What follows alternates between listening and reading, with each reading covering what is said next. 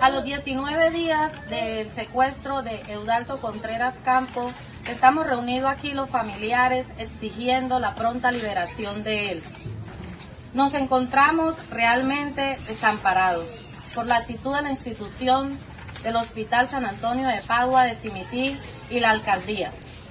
No se han pronunciado.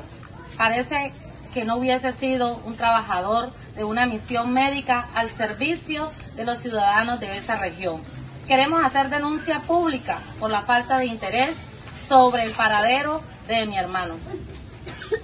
Exigimos el derecho a la libertad de mi primo Eudaldo Contreras. Sus hijos lo esperan en casa. Por favor, escúchenos quienes los tengan.